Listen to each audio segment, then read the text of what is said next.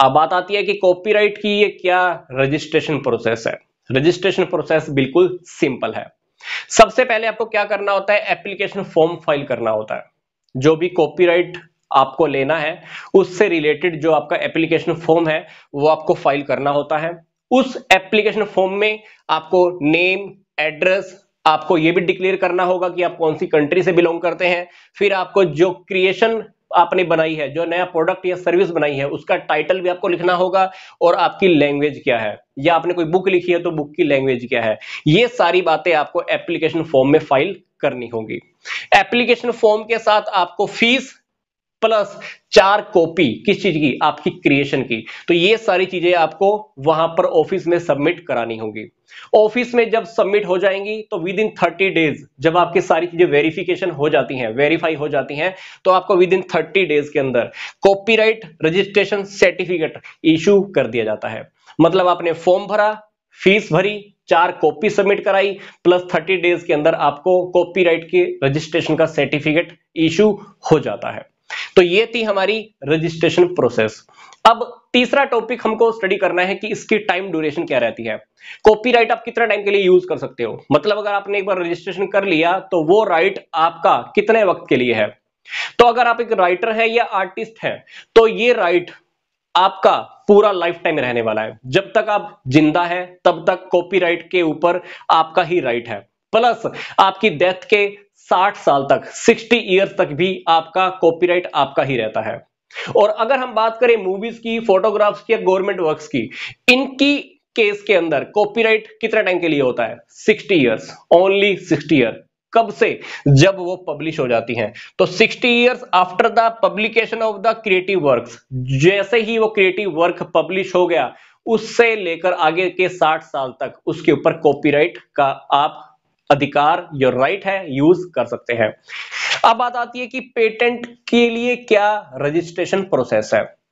Point number one filing application सबसे आप, सबसे पहले आपको क्या करना है? पेटेंट का जो ऑफ़िस है, या आजकल ऑनलाइन भी होने लगा होगा तो वहाँ पर आप जाइए तो वहाँ पर एक एप्लीकेशन लगा दीजिए। आपके प्रोडक्ट सर्विस के बारे में जो भी है, सारी डिटेल्स उसमें आप फ़ाइल कर दीजिए। डिटेल्स फ़ाइल हो गई एप्लीकेशन लगा दी आपने एप्लीकेशन के साथ आपको फ़ीस भी जमा करानी होती है। कुछ फिक्स्ड फ़ीस है, जो पहले से प्रिस्क्राइब्ड है, ये फ़ीस भी आपको सबमिट करानी होती है। तो एप्लीकेशन लगा दीजिए प्लस फ़ीस पे कर दीजिए।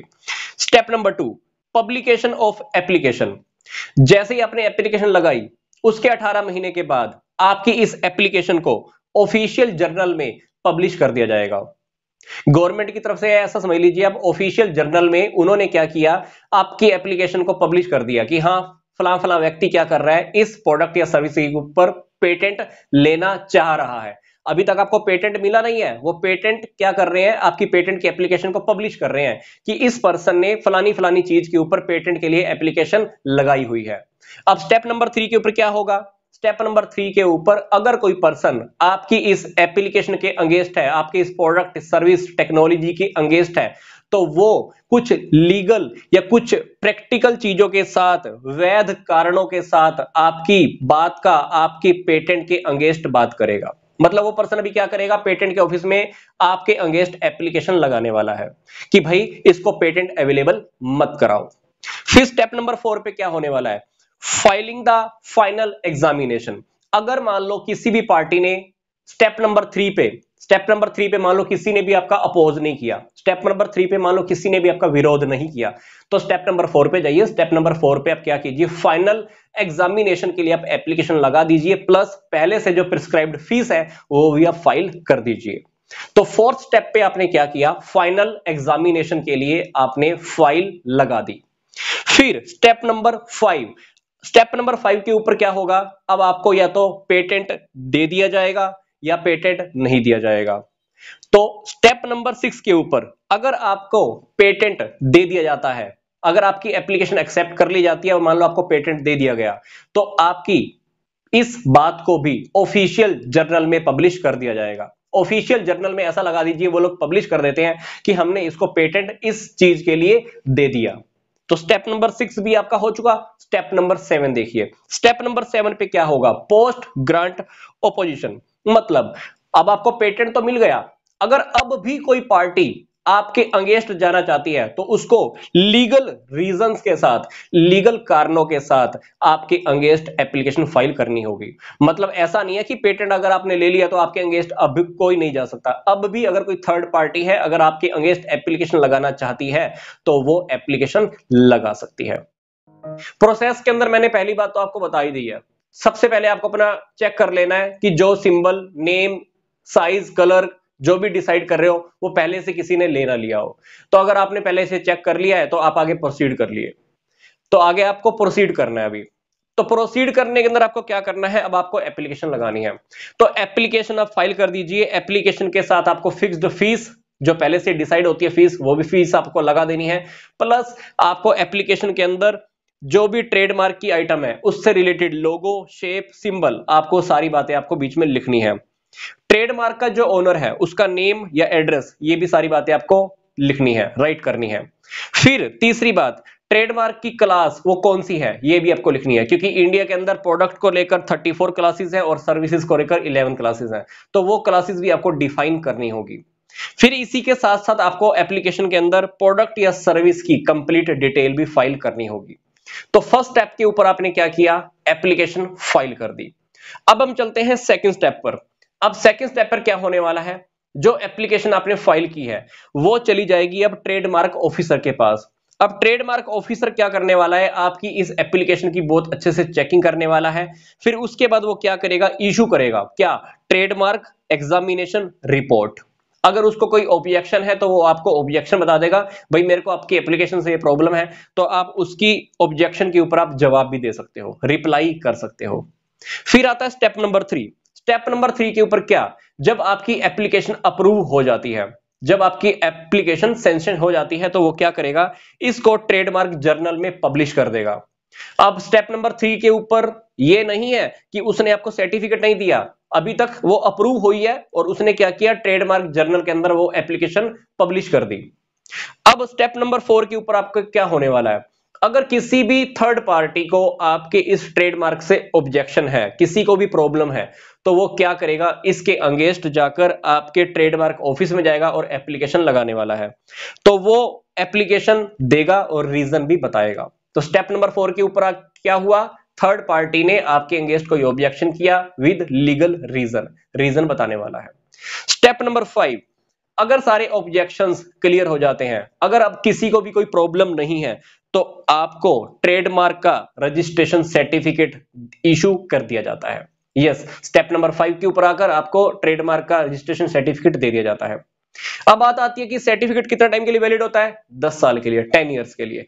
टेन ईयर्स के बाद आप इसको फिर से रिन्यूअल करा सकते हो। कुछ फिक्स्ड फ़ीस आपको देनी होती है दस साल के बाद, आप वो पे कीजिए, फिर से आपका ये ट्रेडमार्क रिन्यूअल हो जाता है।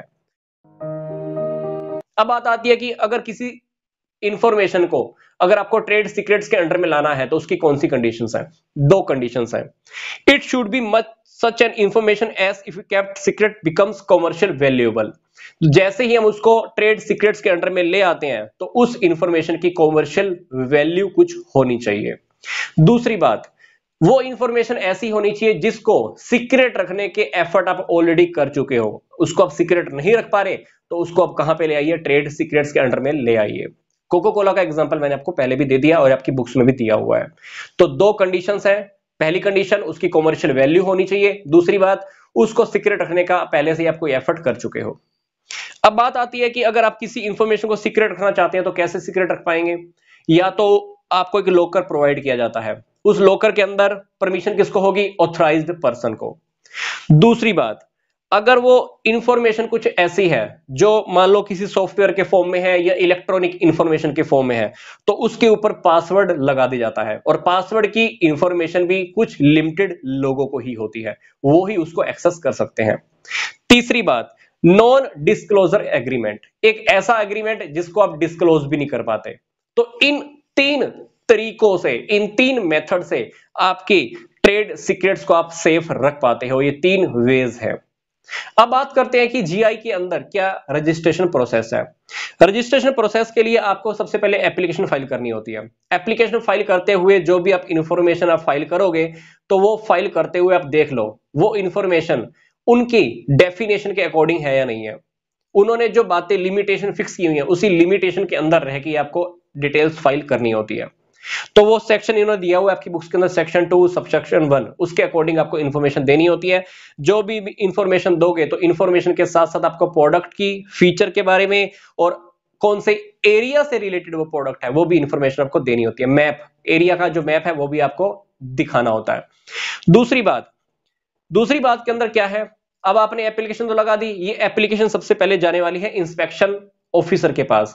अब इंस्पेक्शन ऑफिसर क्या करेगा? स्टार्टिंग लेवल पर कुछ चेकिंग करने वाला है। जब वो चेकिंग करेगा तो हो सकता है कोई ऑब्जेक्शन लगा दे।